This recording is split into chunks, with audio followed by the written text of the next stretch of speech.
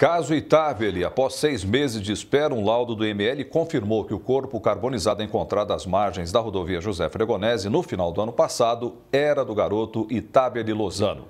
Segundo os familiares, o enterro deve acontecer ainda neste final de semana.